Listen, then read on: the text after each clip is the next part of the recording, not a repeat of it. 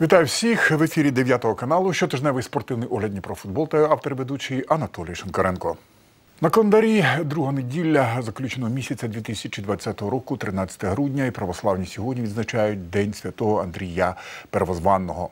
Що стосується спорту, то далекого 42-го року минулого століття футболіст паризького Расінга Стефан Станіс забив у матчі Кубка Франції 16 голів у ворота команди Обрі, встановивши світовий рекорд для професійного футболу. А матч у підсумку закінчився з рахунком 32-0. Цього дня в 1983 році відбувся найрезультативніший матч в історії NBA. Детройт виграв у Денвера з рахунком 186 на 184. А 13 грудня 1991 року Федерація футболу України на чолі з Віктором Банниковим проголосила про свій вихід з під московського керівництва Федерації футболу Союзу Радянських Соціалістичних Республік і стала самостійною. 13 грудня 2004 року нинішній головний тренер збірної України з футболу Андрій Шевченко, а тоді гравець італійського Мілана, отримав золотий м'яч приз кращого гравця Європи. Його найближчий переслідувач Деку відстав від нього на 36 балів. У трійці фіналістів Андрій опинявся і раніше, та коли він забив за Росонері 29 голів і вирішальне пенальті у ворота туринського Ювентуса у післяматчевій серії Ліги Чемпіонів віддати омріяний золотий м'яч комусь іншому просто не могли. На жаль, минулого тижня у віці 64 років після важкої хвороби раку легенів пішов життя легендарний форвард збірної Італії Паоло Росі, який продовжив чорну смугу смерти зірок після Марадони і Віктора Понедільника. Росі став одним з героїв чемпіонату світу 1982 року в Іспанії у складі збірної Італії. Він завоював головний трофей і став кращим бомбардиром того турніру. У тому ж році він отримав золотий м'яч як кращий футболіст Європи, був визнаний кращим футболістом року у світі за версією журналу World Soccer і футболістом року у Європі. Всього у складі збірної Італії Росі провів 48 поєдинків і забив 20 м'ячів. А з Ювентусом завоював Кубок європейських чемпіонів, Кубок володарів Кубків, Суперкубок УЕФА, два Скудето і Кубок Італії. Він рекордсмен збірної Італії за кількістю голів на чемпіонатах світу поруч з Роберто Баджо і Крістіаном Авієрі. Кожен забив по 9 м'ячів на світовій першості. Росі входить до переліку найвеличніших футболістів ХХ століття за версією World Soccer і в список FIFA 100 складений Пеле. Закінчить сумну е, ноту початку нашого випуску. Добра згадка і царство небесне Василю Антоновичу Бубнову, одному з законодавців волейболу у нашому місті, багаторічного директора міської дитячо-юнацької спортивної школи, який пішов з життя. Ми домовлялися з ним, що по завершенні епідемії коронавірусу обов'язково запишемо програму про 70-літній ювілей навчального закладу. На жаль, не встигли. Спасибі вам за все, великий тренер, вчитель, вихователь і педагог. Нехай земля вам буде пухом. Далі про таке ФІФА оголосила претендентів на низку нагород на звання найкращих у 2020 році, які будуть оголошені 17 грудня під час онлайн-церемонії у е, Цюріху. Е, серед номінантів е, найкращий футболіст Кріщан Роналду, Португалія, Ювентус, Італія, Ліонел Месі, Аргентина, Барселона, Іспанія, Роберт Левандовський, Польща, Баварія, Мюнхен, е, Люсі Бронз, Англія, Ліон, Манчестер Сіті, Перніла Хардер, Данія, Вольсбург, Німеччина, Челсі, Англія, Венді Ренар, Франція. Ліон претендують на звання найкращої футболістки світу. На приз найкращого вратаря висунуті Алісон, Бразилія, Ліверпуль. Англія, Мануель Нойер, Німеччина, Німеччина, Баварія, Мюнхен, Ян Облак, Словенія, Атлетико, Мадрид. На сам кінець найкращого з тренерів виберуть з тріо Марсело Б'єлса, Ліц Англія, Юрген Клоп, Ліверпуль, Англія, Ханс Дітер Флік, Баварія, Німеччина. Нагадаємо, що у минулому році найкращим гравцем планети визнали Ліонелі Ліонела Мессі, а найкращим тренером Юргена Клопа. Тим часом Міжнародна федерація футбольної історії і статистики вже підвела власні підсумки 2020 року. Так, так кращим клубним тренером світу з футболу у 2020 році визнано наставника Мюнхенської Баварії Ханса Дітера Фліка. У дебютному сезоні з Мюнхенським клубом він виграв требл Лігу чемпіонів Бундеслігу і Кубок Німеччини, а також Суперкубок Європи. Найкращим тренером на рівні збірних став Дід'є Дешам, який очолює команду Франції. Раніше французи вийшли до півфіналу Ліги націй. Такими були підсумки, що їх підвела, нагадую, Міжнародна федерація історії та статистики. Е, Натомість е, Globe Soccer Awards, який з 2010 року вручає щорічну премію, яка заснована Європейською асоціацією агентів гравців і Європейською клубною асоціацією, опублікував підсумкові трійки номінантів на нагороди, які будуть вручені за підсумками року, що минає. У голосуванні будуть визначені володарі трьох призів найкращому футболістові, тренеру і клубу. Серед останніх Баварія Мюнхен, Німеччина, Ліверпуль, Англія та Реал Мадрид, Іспанія.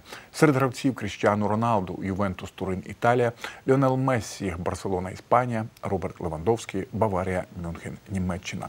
Серед тренерів Жан П'єро Гасперіні, Е, Аталанта, Бергамо, Італія, Ханс Дітер Флік, Баварія, Мюнхен, Німеччина, Юрген Клоп, Ліверпуль.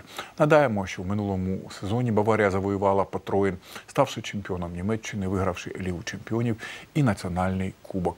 Ліверпуль вперше за 30 років став найкращим в чемпіонаті Англії, а Реал Мадрид став чемпіоном Іспанії. Святе місце порожнім не буває. Попри те, що Францфутбол е, відмовився у 2020 році вручати приз Золотий м'яч кращому футболісту Європи. Подібним питанням перейнявся інший авторитетний журнал, британське видання Фофоту. Знову ж таки, шляхом опитування 101 журналіста 101 країни. Нагороду з великим відривом виграв 32-річний форвард збірної Польщі і Мюнхенської Баварії Роберт Левандовський, який набрав абсолютну більшість голосів 87. Наразі їх не уточнюється, хто розташувався услід за ним. У минулому сезоні Лівандовський з Баварією завоював три найвагоміші титули, ставши чемпіоном Німеччини, володарем Кубка країни і переможцем Ліги Чемпіонів. Після цього мюнхенська команда виграла суперкубок УЕФА. У минулому сезоні Форвард забив 34 голи у 31 матчі німецької бундесліги, 6 м'ячів в п'яти зустрічах Кубка Німеччини, а також 15 разів вразив ворота суперників у 10 іграх Ліги Чемпіонів. Українська асоціація футболу УАФ офіційно повідомила про те, що подала апеляцію до спортивного арбітражного суду в Лозанні з питання того, що вона категорично не погоджується з рішенням УЕФА присудити збірній України технічну поразку 0-3 за матч групового етапу Ліги націй проти команди Швейцарії. Окрім юристів Української асоціації футболу, підготовці заяви брали участь кращих фахівців у сфері футбольного права з Іспанії та Швейцарії, а також представники адвокатської асоціації нашої держави. УАФ отримала мотиваційну частину рішення УЕФА щодо поєдинку Швейцарію 1 грудня і мала 10 днів на подачу апеляції, чим вона і скористалася, як заявив перший віце-президент Української асоціації футболу. Олег Протасов, враховуючи різдвяні і новорічні свята, розгляд справи може розтягнутися у часі до двох місяців. Натомість збірна України з футболу у щойно опублікованому ФІФА черговому рейтингу національних команд зберегла за собою 24-ту позицію. Серед представників УЕФА ми 16. Суперники підопічних Андрія Шевченка у фінальному турнірі Євро 2020 Нідерланди 14, Австрія 23, Північна Македонія 65. З тим, кому Україні доведеться зіграти у відборі до чемпіонату світу 2022 року. Франція, друга, Фінляндія 54, 55, Босня Босня і Герцеговина, Казахстан 132. Чинний чемпіон світу Франція, а також Фінляндія, Боснія і Герцеговина та Казахстан дісталися у суперники збірні Україні у групі Ді у кваліфікації чемпіонату світу 2022 року у зоні УЄФА, жеребкування якого відбулося у швейцарському місті Цюріху. Спортивні аналітики вважають нашу команду фаворитом у боротьбі за друге місце. Букмекери практично не сумніваються в тому, що Франція фінішує першою, оцінюючи подібне е, котирування в 1,25 а це від 70% ймовірності. На перемогу України можна поставити за коефіцієнтом 6,5, а на пряму путівку на чемпіонат світу 2022 для Боснії та Герцеговини за 10. Шанси Фінляндії оцінюються в 21 і Казахстану в 101, що ще нижче. Головний тренер збірної України Андрій Шевченко, коментуючи жеребкування, зробив наголос на тому, що ми потрапили до дуже серйозної групи і віддаючи належне суперникам, він звернув увагу і на майбутній календар, від якого багато чого залежатиме, і коли його найближчим часом оприлюднять, з'явиться можливість розмірковувати про все детальніше. Наразі ж е, календар наприкінці минулого е, тижня з'явився, і команда Шевченка груповий етап кваліфікаційного відбору розпочне 24 березня гостьовим поєдинком проти чинного чемпіона світу Франції. Після чого наша національна команда протягом весняної частини турніру двічі поспіль зіграє вдома 28 березня з Фінляндією і за три дні по цьому 31 з Казахстаном. Звісно, бажано було б взяти сім очок. За шість мова не йде, якщо на щось е, потрібно розраховувати. Наразі спекотною для підопічних Андрія Шевченка виявиться осінь. У день знань 1 вересня українці гостюватимуть у Казахстані, після чого вже 4-го у рідних стінах прийматимуть французів. Далі у жовтні на Україну чекає візит до Фінляндії, після чого до нас завітає Боснія і Герцеговина, з якою жовто-сині 16 листопада на її полі і проведуть заключний поєдинок. Звісно, кінцівка календаря виявилася найкращою, враховуючи факт того, що всі пророкують українцям боротьбу за друге місце і саме з боснійцями. На жаль, за такого розкладу у збірних України і Швейцарії паузи для товариських матчів випали у різний час, і за таких обставин проблематичним виглядає знаходження вікна дати для можливого проведення поєдинку Ліги націй.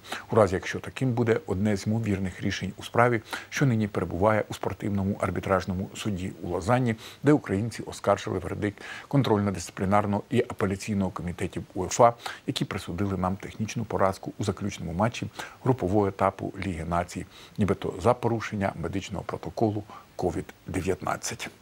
Повертаючись до жеребкування, загалом варто зазначити, що переможці груп напряму безпосередньо виходять до фінальної частини. Команди, що посіли другі місця, потраплять до плей-офф кваліфікації разом з двома найкращими колективами, які виграли свої групи у лізі націй. Таким чином, 12 команд у двох раундах плей-офф визначать ще трьох володарів путівок на чемпіонат світу 2022 року, що відбудеться, нагадаю, з 21 листопада по 18 грудня 2022 року в Катарі, де Європа буде представлена 13 країнами.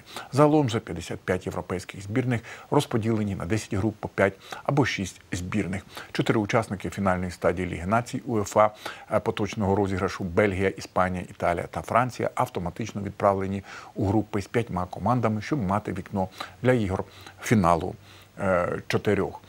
В інших групах зійдуться Португалія, Сербія. Двоє останніх були суперниками українців у відборі до Євро 2020 а також Ірландія, Люксембург, Азербайджан. Квінтет біг утворили Іспанія, Швеція, Греція, Грузія. Косово. Італія очолила групу С, де окрім неї зіграють Швейцарія, Північна Ірландія, Болгарія, Литва. Краща команда поточного рейтингу УЕФА Бельгія отримала у суперники Уельс, Чехію, Білорусь, Естонію. Мабуть, найбільш рівною видається група І Данія, Австрія, Шотландія, Ізраїль, Фарери, Молдова. Хоча нічого виглядає і зібрання у G – Нідерланди, Туреччина, Норвегія, Чорногорія, Латвія, Гібралтар. Зрештою, цікавою буде і боротьба там, де за путівку повоюють Хорватія, Словаччина, Росія, Словенія, Кіпр, Мальта. Англія захищатиме титул першого номеру посіву у групі проти Польщі, Угорщини, Албанії, Андори і Сан Марино. Нарешті особливих проблем, щоб кваліфікуватися до Катару, не має бути у Німеччини, де суперниками Бундестім будуть Румунія, Ісландія, Північна Македонія, Вірменія, Ліхтенштейн. Розглянувши е, рішення комітету національних збірних команд Української асоціації футболу та комітету жіночого футболу, а також у зв'язку з неповною визначеністю з проведенням офіційних змагань у зв'язку з пандемією COVID-19, виконком УАФ затвердив рішення продовжити автоматично на один рік до кінця 2021 року контракти з фахівцями, у яких вони закінчуються у поточному році. З головним тренером національної молодіжної збірної команди України U 21 Руслан. Іваном Ротиним. З головним тренером юнацької е, національної збірної команди України U-19 Володимиром Єзерським, з головним е, тренером національної юнацької збірної команди U-17 Сергієм Нагорняком, з головним тренером національної юнацької збірної команди U-16 Олегом Кузнецовим, з головним тренером національної жіночої збірної команди України Наталією Зінченко, з головним тренером національної молодіжної дівочої збірної команди України Ю-19 Валерієм Паламарчуком та з головним тренером національної молодіжної дівочої збірної команди України Ю-17 Сергієм Сапроновим. У минулий четвер завершився попередній груповий етап Єврокубків, турніри з якого відновляться після двомісячної паузи вже у лютому наступного року. Київське Динамо, святкувавши мінімальний успіх 1-0 на полі столичного національного спорткомплексу Олімпійський над угорським Ференцварошем, таким чином здобуло свою першу перемогу за останні шість років у групі Ліги Чемпіонів. Востаннє в ній кияни перемагали ще 6 грудня 2016-го турецький Бешикташ. Звітна звитяга дала можливість можливість динамівцям посісти третє місце у групі і навесні стартувати на стадії однієї 16 фіналу, а також заробити на сьогодні 36 мільйонів євро. Наразі визначилися усі потенційні суперники киян на цій стадії, де при жеребкуванні, що відбудеться у понеділок, 14 грудня, вони будуть несіяними у тому, тому у суперники їм дістанеться хтось з переможців груп Ліги Європи та найкращих третіх місць Ліги чемпіонів. Е, отже, єдине обмеження для Динамо Донецький Шахтар, клуби з однієї країни на цій стадії зустрітися не можуть. Отже, кияни е, можуть зійтися з квартетом англійських клубів, серед яких Манчестер Юнайтед, Арсенал, Лестер, Тоттенхем, тріо італійських Рома, Мілан, Наполі, тандем німецьких Байер, Хофенхайм і нідерландських Аякс та ПСВ, а також по одному представнику Іспанії Вільяреал, Бельгії, Брюге, Шотландії Рейнджерс і Хорватії Динамо Загреб. Донецький шахтар мужньо відстояв нульову нічу у Мілані проти Інтера і також кваліфікувався до однієї 16 фіналу Ліги Європи, е, поповнивши е, паралельно власну казну аж на 43 мільйони євро. Цікаво, що у нинішньому турнірі Ліги Чемпіонів гірники не пропустили жодного м'яча від мадридського реалу італійського інтера і ковтнули відразу 10 від Ментенхладбецької Борусії Німеччини. Поєдинок проти інтера став ювілейним 250-тим у Єврокубковій біографії Шахтаря. 136 зустрічей гірники провели в лізі чемпіонів, причому 100 в основному раунді, 91 у лізі Європи Кубку УЄФА, 18 у Кубку Кубків, 4 у Кубку Інтертото і один у Суперкубку. При жеребкуванні Ліги Європи, на відміну від київського Динамо, гірники будуть сіяними. Вони зіграють з кимось, хто фінішував другим у групі Ліги Європи, або ж з кимось з гірших третіх місць Ліги Чемпіонів, виключаючи російський Краснодар і, звісно, киян. Серед небажаних суперників португальська Бенфіка, австрійський Зальцбург, іспанський е, іспанський Реал Сосєдад. Втім, у футболі можливо все. На сам кінець Луганська зоря, яка набрала під кінець непоганої ходи у зустрічі, яка з турнірної точки зору вже нічого не вирішувала. Наша команда дочасно вибула зі змагань. 0-2 поступилася у Португалії тамтешній бразі. Попри все, до бюджету клубу луганчани додали 4 мільйони 690 тисяч євро. У підсумку до таблиці коефіцієнтів УФА Україна за минулий тиждень додала 0,6 бала. Три очки поділити на 5 команд. Якщо брати до уваги ту обставину, що єврокубковий сезон ми могли завершити і в грудні, а за фактом дві команди вийшли у весну, не все так е, критично. Засмучує тільки те, що Селтік, який провалював сезон, в останньому турі розродився перемогою і допоміг Шотландії знову піднятися на 11-ту сходинку в таблиці коефіцієнтів, але відрив від України незначний 0,425 тисячних бала. І було б непогано, щоб в одній 16-ї фіналу Ліги Європи зійшлися Київське Динамо з Глазго Рейнджерс.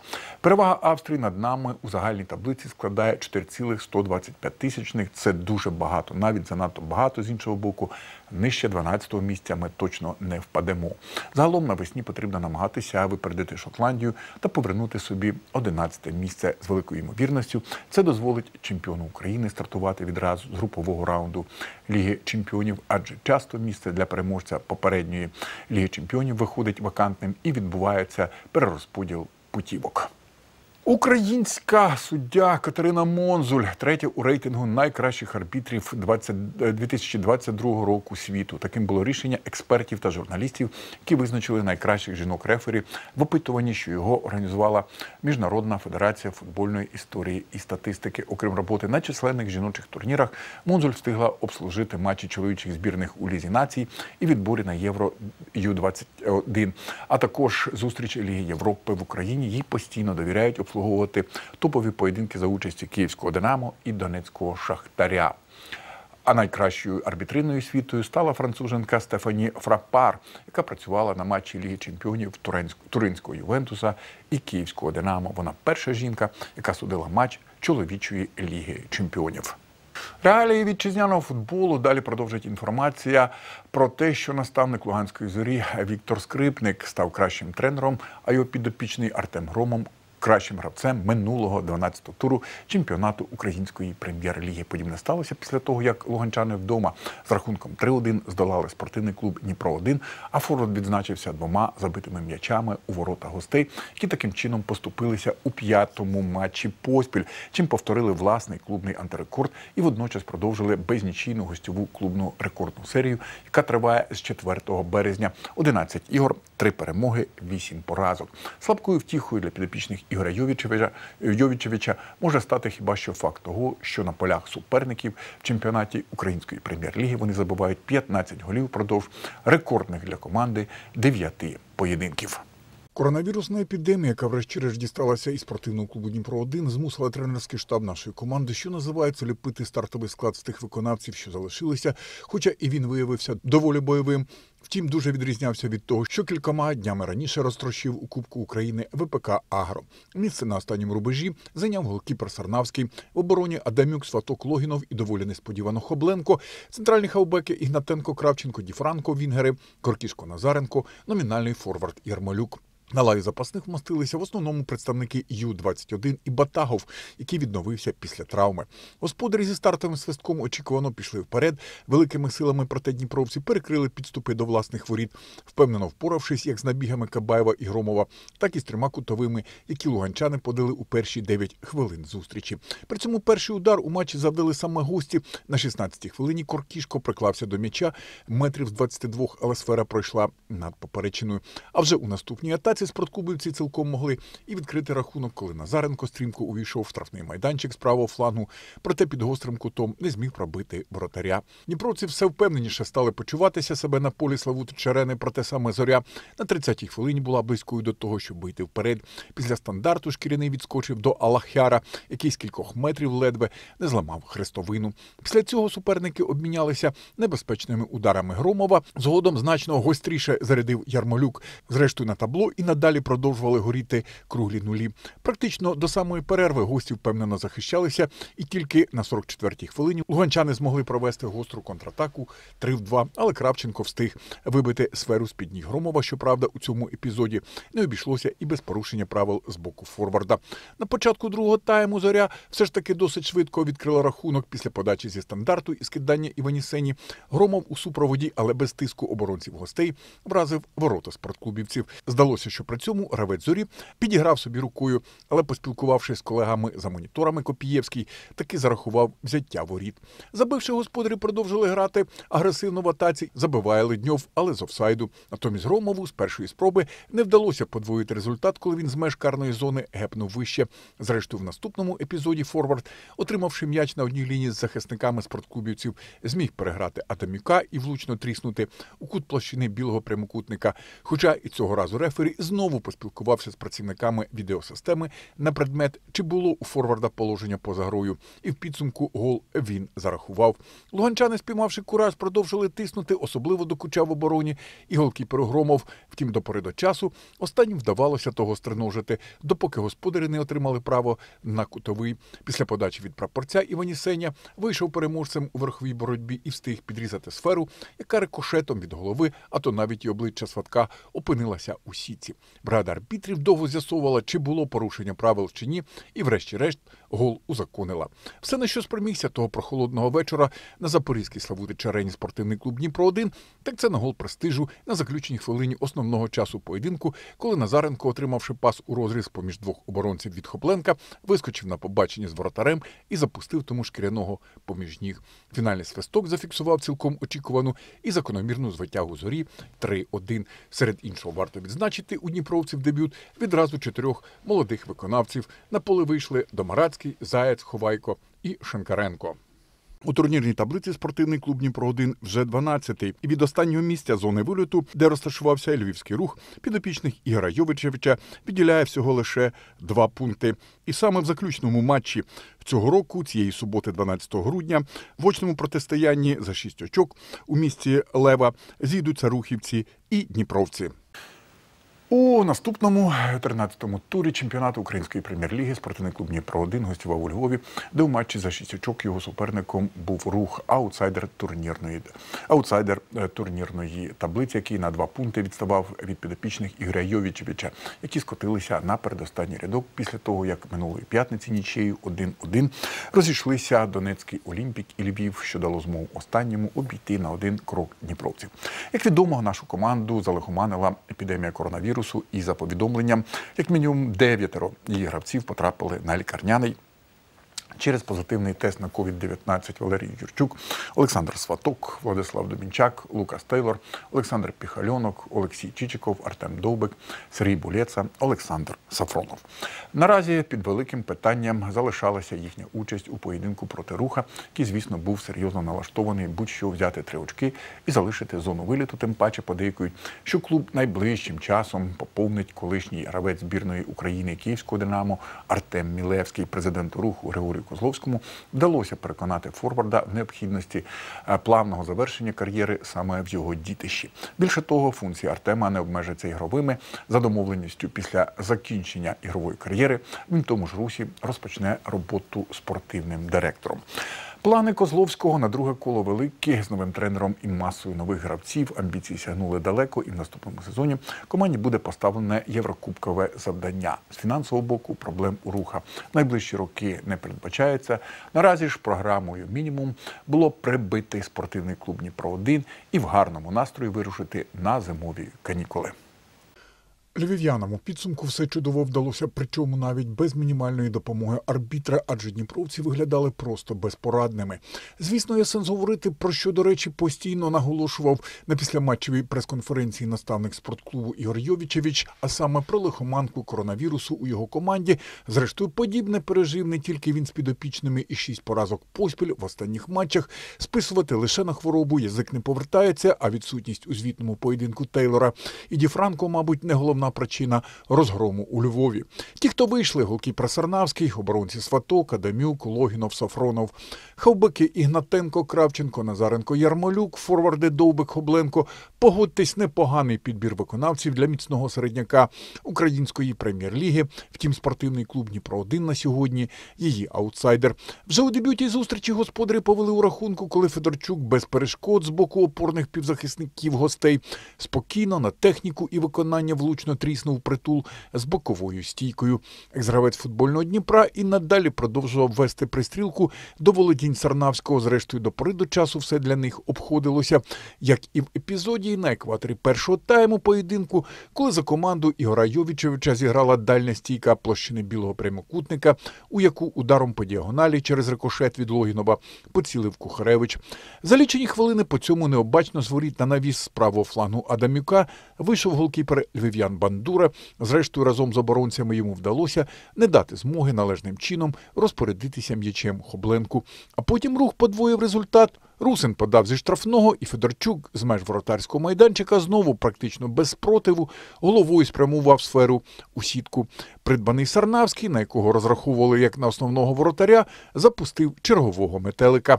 Перед сигналом на відпочинок наша команда створила реальний момент для того, щоб забити, коли після стандарту у виконанні Кравченка по черзі подібне намагалися зробити Логінов Довбик і Хобленко, але захист господарів став такою щільною стіною обабіч власних володінь, що шкіряний навіть не долетів до голкіпера. Коли обидві команди подумками були вже у роздягальні на відпочинку, гол красень до свого активу записав 19-річний Кухаревич, який по-дорослому розібрався у карній зоні дніпровців і смачно гепнув у дальню дев'ятку їхніх воріт. 3-0. Чесно кажучи, неочікувано і матч сміливо можна було завершувати, тому що якихось натя на те, що спортклубівці зможуть переламати хід поєдинку, за такого розвитку подій видно не було. Рух у свою чергу, як і належить, грав по рахунку, причому знову ж таки, як і до перерви, не особливо надокучуючи супернику, який, окрім всього, мав подвійну перевагу у володінні м'ячем, але не більше. Лів'яни реалізували практично усі можливості, що вони створили тоді, як гості відверто мучилися футболом. Під завісу зустрічі Сарнавський врятував свою команду від спроби Гагуна вразити ближній верхній кут воріт. Майже відразу в атаці відповіді бажаного нарешті досягли гості. Кравченко навісив зі штрафного і сваток маківкою підрізав сферу за призначенням. Проте гол тільки підсолодив для спортклубівців гірку пігулку від поразки, яку незабаром остаточно оформив Климчук після того, як його партнери провели наступ за хрестоматію лівим флангом, і йому нічого не залишалося, як спрямувати шкіряного у порожню площину білого прямокутника після пасу Бойчука. У підсумку 1-4 і дніпровцям є над чим подумати у зимове міжсезоння. Муситься привітати команду руха за сьогоднішню ігру, бо по ігрі перемогла заслужено. Швидкий гол допомогли, допоміг е, команді додати впевненості, і ми не змогли знайти собі сил, розвернути ситуацію. Другий гол теж е, ще теж додав йому в динаміці і Ne šo, pise togo mi imali paru momenti zabiti, ne zabili u kontrataciji, to že propustili, tako duže vaško bilo, bilo se protistojati. Pa Hoća očekovalo se više nabiti s tim sastavom, jakim višli se u Da, Mušu viznati to že, jaka, ne je pričina crvenjiše porazka, ali prosto listopad mjesec dla nas duže ne prosti. bo voroba prosto naš, nas uništožila. Nemajmo kogo trenovati po kožni den vipadaje po troje četvoro i nas 19 futbolisti bilo zaraz. 11, щоб теж не у рівних умовах протистоїмо і граємо з іншим команд, які дуже відповідальні матчі, дуже рішучі матчі за нас. А, а чую і знаю, що там відміняються інші. Так що кажу ще раз, зараз не будемо панікувати, знаємо, що ми показували в жовтні місяці, коли, коли забрали команду, які грали хороший футбол. Мало бути інший склад. niški sklad, e, niša podgotovka zopsim do maču, ti futbolisti jaki bili zdorovi.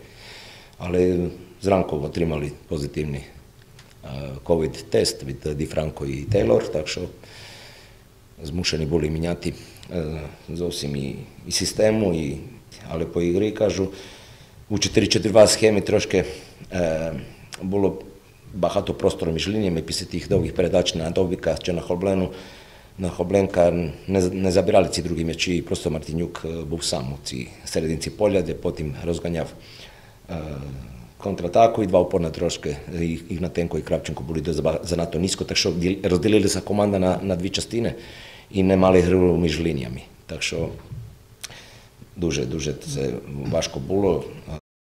У турнірній таблиці спортивний клуб Дніпро 1 опустився на останній рядок, і наразі у другій частині чемпіонату команді потрібно буде думати про те, як залишитися у прем'єр-лізі, за що вона буде боротися за виживання з львівським рухом, Львовом, Ужгородським Минаєм та Інгульцем з Петрово Кіровоградської області.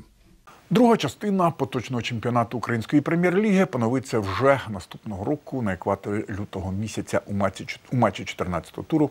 Спортивний клуб Дніпро 1 прийматиме інгулець з Петрово Кіровоградської області. Без пафосу і особливих почестей, втім, зі смаком через пандемію коронавірусу, яка продовжує впливати, обмежувати, а то й взагалі забороняти проведення різноманітних щорічних змагань, які вже давно стали невід'ємною частиною спортивного календаря року. Дніпропетровське обласне відділення Національного олімпійського комітету все-таки організувало і провело традиційний сьомий за ліком турнір з футзалу пам'яті заслуженого працівника фізичної культури і спорту України, відомого діяча олімпійського руху нашої держави та Дніпропетровщини, нашого земляка Анатолія Васильовича Габелка. Через нинішню пандемію коронавірусу, яка продовжує впливати, обмежувати, а то й взагалі забороняти проведення різноманітних щорічних змагань, які вже давно стали невід'ємною частиною спортивного календаря року, значно урізаним як за кількістю команд учасниць, так і відсутністю уболівальників на трибунах затишного спортивного комплексу Слобожанський, одноіменної з ним об'єднаної територіальної громади, що в передмісті Дніпра, а також великої низки почесних гостей з інших регіонів держави та Національного олімпійського комітету України.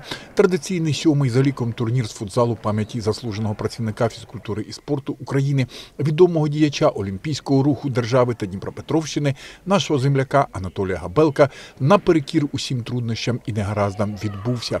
У чому велика заслуга тих, хто ним опікується увесь цей час. Обласне відділення НОК України на чолі з Андрієм Павелком та Асоціація футболу Дніпропетровської області голова Віктор Андрухів, що красномовно свідчить про спадкоємність поколінь, шану, любов і повагу до людей, які своєю сумлінною роботою і ставленням до справи, яким посвятили власне життя, заслужили на пам'ять і добрі слова згадки про себе в історії вітчизняного спорту. Сегодня мы сделали, можно сказать, все возможное, все от нас зависящее, чтобы турнир состоялся, потому что мы все понимаем прекрасно, если мы пропустим год-два, а потом э, как бы память об этом человеке будет угасать и турнир потеряет свои обороты. Враховуючи обмежену мінімальну кількість команд, які мали можливість взяти участь у турнірі, у відповідності до регламенту їм було запропоновано зіграти за коловою системою кожна з кожною. У стартовому поєдинку минулорічний переможець подібних змагань міська дитячо-юнацька спортивна школа з ігрових видів спорту не без труднощів 4-3 здолала опір господарів ровесників зі Слобожанського Олімпіка. А визначальною для виявлення нинішнього володаря трофею, як з'ясувалося опісля, стала зустріч команд, які його розіграли у фіналі минулого року. Тоді у серії після матчевих пенальті МДЮ США перестріляла однолітків з дитячо-юнацького футбольного клубу Парус. Наразі вітрильники взяли реванш 2-1 в основний час і для того, щоб вдруге у своїй історії знову завоювати кубок підопічним Дентра Коза, достатньо було не програти Олімпіку. Зрештою, спіймавши кураж, буремні перевиконали завдання, святкувавши переконливу перемогу. участников, всього три команди. Ну, я думаю, все рішалося сегодня на футбольном поле. Неожиданностей быть не могло, потому что все играли друг с другом по круговой системе. И я, конечно, поздравляю команду «Парус». Это самая титулованная э, на сегодня команда э, в этом турнире. Она все семь лет находится, в- э, выигрывает какое-то из призовых мест, но чемпионом стала только второй раз. Поэтому я поздравляю и руководство, и тренерский состав, и ребят э, этой команды с э, победой. На початку стислої урочистої церемонії нагородження зібрання почергово привітали перший віцепрезидент Асоціації футболу Дніпропетровської області Анатолій Шинкаренко та директор спортивного комплексу Слобожанський Володимир Дейнеко. Після чого разом з виконавчим директором Дніпропетровського обласного відділення НОК України Олександром Дювбаковим вони вшанували не тільки усі команди-учасниці, але і кожного гравця. А першими привітали та подякували за роботу суддівську бригаду, після чого бронзові медалі за третє місце і сувеніри та набори з олімпійською символікою, що їх презентував НОК України, отримали хлопчаки Слобожанського Олімпіка. Минулорічний переможець турніру колектив міської дитячо-юнацької спортивної школи з ігрових видів спорту наразі мав задовільнитися срібними нагородами, а золоті цілком заслужено і по праву стали надбанням вихованців дитячо-юнацького футбольного клубу Парус, які, окрім усього, у такий спосіб зробили гарний подарунок для свого головного тренера і ідейного натхненника Бориса Омельяновича Афанасєва, що безсумнівно додасть сил і здоров'я ветерану для найшвидшого одужання. Очень здорово, э, традиционный этот турнир, э, очень э, приятно участвовать в нем. Э, Спасибо организаторам, спасибо Олимпийскому комитету, который приглашает нас регулярно. Турнир растет и по качеству, и по количеству команд, которые участвуют в нем. Если раньше это было обычные общеобразовательные школы, сейчас это уже футбольные клубы. Соответственно, интерес к этому турниру высокий. Ну, приятно выигрывать. Апогеєм церемонії нагородження стало вручення команді переможцю парус перехідного красення Кубка, що сім років тому виготовив колега і друг нині покійного Анатолія Васильовича Габелка Ігор Шкоропяк з Івано-Франківська. А завершилося дійство традиційним фотографуванням на загальну світлину усіх причетних як до організації і проведення змагань, так і тих, хто брали в них безпосередню участь, щоб у такий спосіб увіковічити подію початку грудня 2020 року, у відповідності до якої у Дніпропетровському обласному відділенні Національного олімпійського комітету України шанують і зберігають пам'ять про людей, які того заслужили і варті. Национальный олимпийский комитет уделяет большое внимание э, и турнирам на призы наших э, прославленных олимпийцев, и мемориальные турниры, вот как сегодня, э, то есть памяти э, каких-то наших выдающихся спортсменов, э, деятелей. Поэтому я думаю, что человек жив, пока жива о нем память, и э, наша святая обязанность продолжать э, подобные турниры. Пам'ять вшанували товариським виставковим матчем. Мова про поєдинок, що його на стадіоні молодіжного парку культури і відпочинку провели колеги, однодумці, друзі і вихованці відомого далеко е, за межами регіону розбудовника гри мільйонів Олександра Андрійовича Жовтонога, який, на жаль, дочасно пішов життя. Сороковини пам'яті Олександра Андрійовича Жовтонога, який залишив по собі гарний помітний слід плідною роботою останні два десятиліття на теренах вітчизняного обласного і міського футболу та футзалу. Його колеги, однодумці, друзі та вихованці вирішили вшанувати символічним товариським виставковим матчем за участі ветеранів, хто добре знав його і працював пліч опліч. Свого часу він багато зробив на поприщі саме розвитку і розбудови гри мільйонів серед ветеранів. Особливо подібне стосується періоду, коли багато з них опинилися на узбіччі життя і улюбленої справи. Олександр Андрійович власною енергією і запалом, як справжній чесний і порядний офіцер радянської армії, який він віддав леву частку життя, надихав і допомагав їм бодай на декілька годин забути про дійсність і повернутися туди, де всі вони колись були молодими і відомими. І за це до нього тягнулися люди, йшли за порадою, вірили йому, і багато з них завдяки цьому знову опинялися у бурхливому вирі того жорсткого сьогодення, але окриленими, згартованими і впевненими у тому, що все у них має бути добре. Александр Андреевич сделал большой вклад в развитие футбола. Он много лет занимался украинским футзалом, то есть был инспектором, судил. Э, з- Очень э, плодотворно занимался развитием ветеранского футбола и организовывал турниры, чемпионаты Украины, и как и по футзалу, так и по большому футболу. То есть проделал ну, колоссальный объем работы, поэтому люди, которые его знали, всегда э, относятся с теплотой. Я сам вот лично и в этом году с ним общался, э, Каждый месяц общался, каждый месяц поддерживал. Надеялись, что все-таки он после продолжительной болезни сможет восстановиться и снова вернуться на футбольное поле, провести еще не один э, прекрасный турнир. Александр Андреевич был хорошим организатором и в большом футболе, и в мини.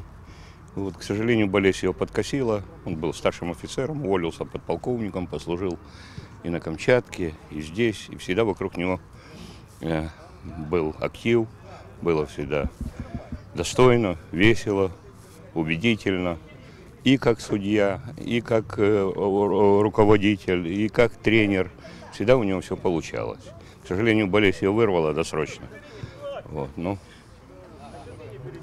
светлая память. На жаль, доводиться лише з болем констатувати, що змагань пам'яті колишніх відомих і навіть легендарних людей і фундаторів гри мільйонів лише додається. З іншого боку, треба віддати належне людям, які стоять за організацією і проведенням подібних турнірів, адже у такий спосіб вони вшановують тих, хто своєю багаторічною роботою і діяльністю залишили по собі яскравий слід у літописі та історії регіонального і українського футболу та футзалу. Бо, як добре відомо, допоки ми пам'ятаємо, ми живемо. Очень хорошо, что мы помним. Хотелось бы и нашу память, и нашу историю передавать и детворе, которая когда-то сменит нас, и в этом может быть и наша сила, если мы будем знать свою историю. Так очень много людей с хорошими большими футбольными именами ушли, вот, и как-то не забыты. І далі традиційна сторінка присвячена прихильникам помаранчевого м'яча. Федерація баскетболу України офіційно повідомила про припинення усіх баскетбольних чемпіонатів, що проводяться під її егідою. В Україні будуть припинені усі баскетбольні першості на термін трохи більше двох тижнів у зв'язку з відсутністю фінансування баскетбольних змагань з боку держави. Департамент організації та проведення е, автор змагань Федерації баскетболу України прийняв рішення призупинити проведення усіх чемпіонатів з 23 грудня 2020 року по 10 січня наступного. Також було прийнято рішення провести матчі чвертьфіналу, півфіналу та фіналу Кубка України у форматі фіналу восьми протягом трьох ігрових днів. Йдеться у заяві Федерації баскетболу України. України з баскетболу та Дніпровського Дніпра і Ісуф Санон вже найближчим часом може виїхати до Сполучених Штатів Америки і долучитися до клубу Х'юстон Рокетс. Ракети запросили на нього відкритний лист з ФІБА. Нагадаємо, у міжсезоння Рокетс придбали права на Санона в sign-and-trade угоді по Остіну Ріверсу, вимінявши їх у Нікс. Зазначимо, що Санон спочатку був обраний на драфті Національної баскетбольної асоціації 2018 року під 42-м номером Вашингтоном. А Останні півтора сезони він провів у нашому Дніпрі. Далі про таке чоловіча та жіночі збірні е, Дніпропетровської області стали срібними призерами командних змагань Кубка України з настільного тенісу, які нині тривають у Сєвєродонецьку. Так, представники сильної статі Валентин Юнчин, Юн, е, Юнчик, е, Євген Кіпка, Олексій Горбаненко і Сергій Барановський у фіналі 1-3 поступилися другому колективу Києва, здолавши при цьому у півфіналі Київ 1 Натомість дівчата Василиса Кануннікова, Аліса Новосад, Зоя Новікова і Олеся Ліфанова також зазнали поразки 0-3 у вирішальній зустрічі за золото першій команді Києва. Вихованець комунального позашкільного навчального закладу міська дитячо-юнацька спортивна школа з опорних видів спорту Дніпровської міської ради Володимир Костюк у складі збірної України здобув золото у командному заліку на чемпіонаті Європи з гімнастики спортивної серед юніорів, які проходять у Туреччині і де беруть участь представники 16 країн континенту.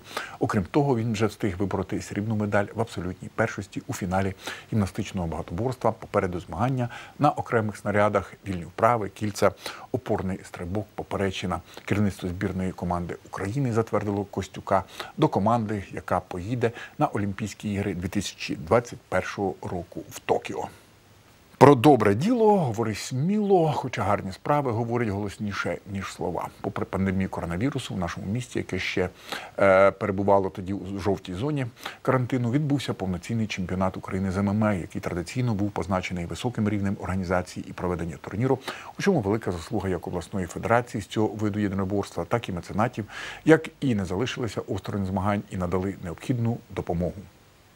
Проведення чемпіонату України з ММА, зрештою, як і іншого турніру будь-якого масштабу, причому байдуже де нині через пандемію коронавірусу організувати і провести проблематично. Втім, завдяки спільним зусиллям Дніпропетровської обласної федерації, і, зокрема віце-президентів Національної з питань регіонального розвитку південного регіону Сергія Самойленка та обласної Євгена Бродського, а також низки меценатів, серед яких компаній Платінум, Стройінвест, Сінергія, благодійний фонд Міроздання, охоронна агенція Леон, вода Бонбуасон, спортивне харчування, Поверпро та інші змагання подібного калібру у нашому місті, яке на той час перебувало у жовтій зоні карантину з дотриманням усіх протиепідеміологічних умов відбулися. Причому традиційно вони вкотре були позначені високим рівнем і відмінною якістю. Як мовиться, гарні справи говорять голосніше аніж слова.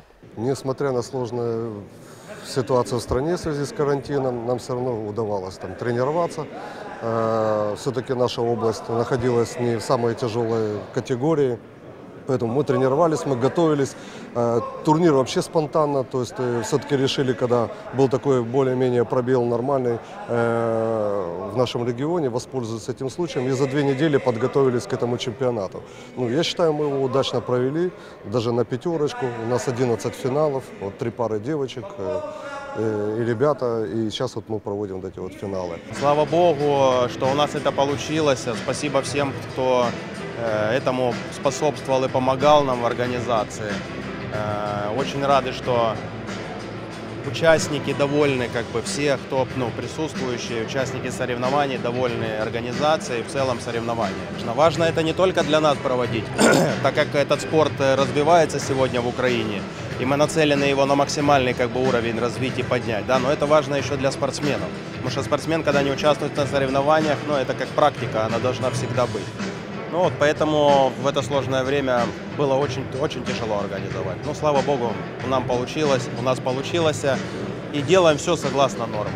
Ході стислої урочистої церемонії відкриття чемпіонату учасників, яких зібралося близько ста суддів та уболівальників, почергово привітали та побажали успіхів і яскравих видовищних поєдинків. Перший віце-президент Національної федерації змішаних єдиноборств ММА України Вахабжан Муратов, віце-президенти Національної федерації з питань регіонального розвитку східного регіону Антон Бланк та південного Сергій Самойленко, керівник Дніпропетровського обласного відокремленого осередку Федерації змішаних єдиноборств ММА України Олександр Журавель, його заступник, віце-президент обласної Євген Бродський. Після представлення суддів Вахабжан Муратов за значний внесок у розвиток і розбудову цього виду єдиноборства у східному регіоні держави і організацію та проведення звітного турніру на знак подяки вшанував Сергія Самойленка сувеніром подарунком мельницею, яка вважається символом достатку і процвітання.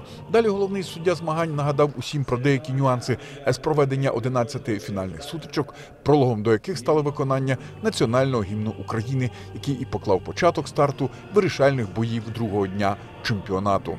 И очень хорошо, что нам удалось провести, вот, можно сказать, что удалось провести чемпионат У- Украины по взрослым. Отже, А, ми ну, починаємо уже, наверное, перший фінальний ММА бій. ну, на достаточном таком уровне, что мы можем не говорить, что там особо молодой вид спорта. Да, молодой вид спорта по сравнению с другими, но мы развиваемся динамично. То есть у нас э, разви- э, каждый год, каждые полгода практически открываются по несколько спортзалов, новые тренера появляются. Есть еще гра- грандиозные планы на будущее, на- на перспективу, на работу.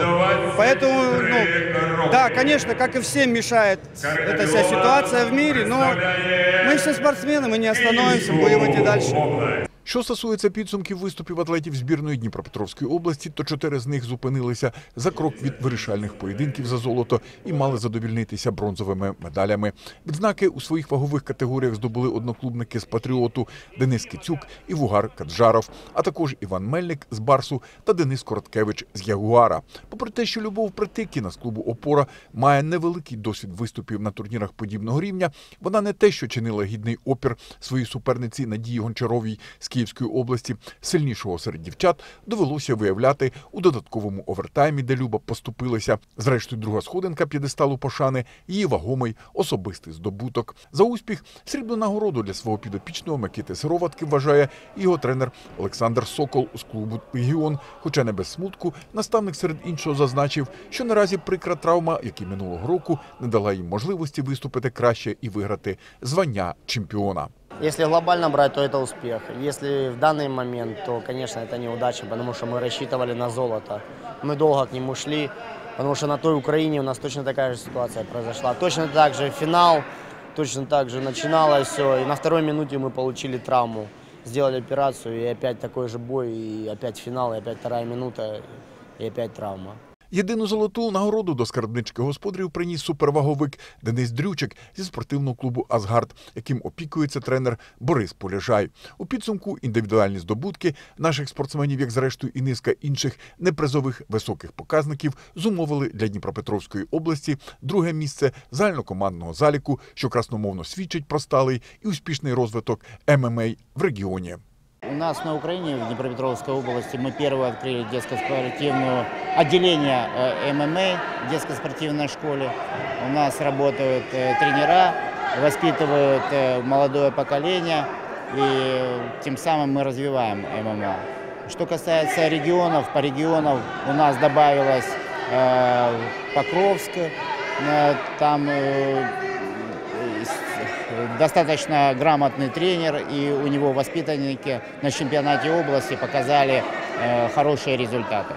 И по всем регионам, город Новомосковский, Никополь, город Кривой Рог, э, вообще у нас на первом месте. Оттуда вот такие выходцы и призеры мира есть, и э, чемпионы Украины. Поэтому в нашем регионе ММА развивается достаточно большими шагами. Область развивается. С э, Нового года у нас задействует программа каждому районному городу Днепропетровской области. Будет предоставлено бесплатно оборудование для занятий смешанными единоборствами. Э, В основном это делается для развития этого вида спорта и привлечения детей, молодежи э, к такому виду спорта, как ММА. Гарно постелили, щоб після падіння знову піднятися здоровими. Президент Федерації дзюдо України Михайло Кошляк вирішив допомогти представникам е, десь спорідненого виду спорту, принаймні за його походженням зі східних єдиноборств, і придбав для вихованців молодої академії Галоян Карате мати і татамі, які відповідають усім європейським стандартам якості і виконані відповідно до новітніх розробок і технологій. Сім років у Дніпрі плідно працює академія Галоян Карате, куди залюбки тренуватися приходять усі бажаючі в незалежності від віку і статі. Звісно, чимало зусиль потребують заняття з наймолодшими, з початківцями, які роблять перші кроки у цікавий і таємничий, навіть десь увіяний романтикою світ цього виду спорту і японського бойового мистецтва, опановувати яким переважна більшість тих, хто переступили ганок спортивної зали, а потім стали брати участь у змаганнях і турнірах, продовжують все життя, адже відомо, що удосконаленню межі не існує. Попри, м'яко кажучи, надто юний вік у крихітних десь чудернацьких та потішних Сєви і Аліси власне бачення того, як вони обоє по-різному сприймають карате і уявляють у ньому себе у майбутньому. Мне нравится то, что здесь можно драться. Потом я, когда на меня будут нападать, я могу дать сдачи. Меня привлекает карате ката. Пояса привлекают, нашивки привлекают, черный пояс привлекает. Для того, щоб якісно і професійно покроково опановувати ази, а надалі і університети карате, окрім бажання, натхнення самих спортсменів і, звісно, допомоги та роботи з ними кваліфікованих наставників і вчителів, потрібний і відповідний гарного рівня якісний інвентар. Серед іншого подібне у першу чергу стосується і килимів, матів та татамі, адже цей жорсткий вид єдиноборства передбачає і пов'язаний з великою кількістю падінь, а з ними і приземлень, особливо під час проведення тренувань і відпрацювання безлічі прийомів. Таким чином, забезпечення сучасним якісним спортивним інвентарем та екіпіровкою дасть можливість не тільки проводити турніри найвищого масштабу, але й вивести навчально-тренувальний процес на більш якісний рівень. Адже ні для кого не секрет, що спорт це здоров'я, а здорові діти це запорука нашого щасливого майбутнього. Хорошее татами, в первую очередь, это э, меньше. Почему? Потому что мы делаем очень много упражнений, которые в зависимости конкретно от падений. И так падение меня, и когда мы делаем технику, также оно ребристость помогает, чтобы ноги, не уходили. Поэтому очень важно высококачественное татами. Если плохое татами, естественно, как бы на нем заниматься некомфортно, быстрый износ. Ну, и это приводит к тому, что его нужно менять очень часто или заниматься его без него. Маты дают э, большую возможность заниматься детям в первую очередь акробатическими упражнениями. То есть в первую очередь сами маты, они помогают развиваться детям самого младшего возраста. Потому что когда начинал я заниматься карате, мы занимались еще на деревянном полу, и все это было в школах. Сейчас уже есть и спортивные клубы, и комплексы, и все они оборудованы матами. Поэтому в первую очередь это помогает развиваться и детям, также и для участия в соревнованиях, проведений соревнований международного уровня. Поэтому в приобретении маток мы в первую очередь благодарим Михаила Анатольевича, который помог в приобретении маток для развития спортсменов и для проведения соревнований.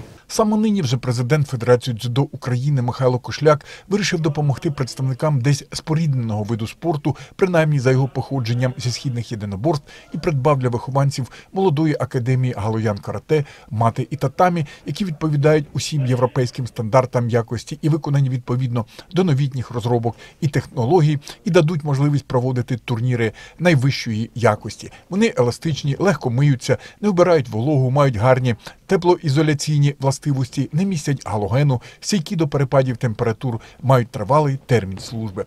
Подібне дає можливість використовувати їх на бетонних, кахельних та інших видах підлог, тим самим захищає спортсменів від травм, а відповідна текстура на поверхні татамі збільшує ефективність щеплення покриття з ногами спортсменів та ще краще запобігає їхньому ковзанню. Хотелось бы отдельно от себя лично поблагодарить от всей Федерации карате Киокушин Михаила Анатольевича, президента Федерации дзюдо Украины, который нам предоставил татами. На данный момент, наверное, лучшее татами международного образца. И благодаря этому татами наши турниры будут еще более качественные и комфортно будет нашим детям выступать на этом татами. Мы сможем еще более масштабные проводить мероприятия, что очень важно для развития, в первую очередь, любого вида спорта и конкретно карате.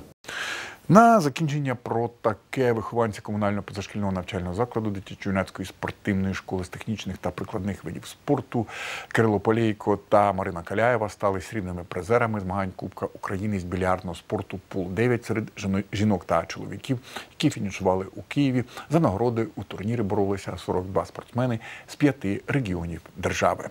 І сьогоднішня наша програма добігла свого кінця. Мені залишається подякувати е, вам за увагу і бути здоровими. Переглянути відеосюжети нинішнього випуску, а також усіх попередніх.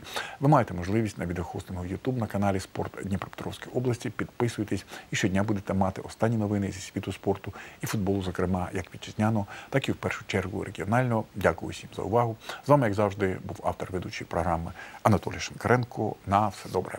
До побачення.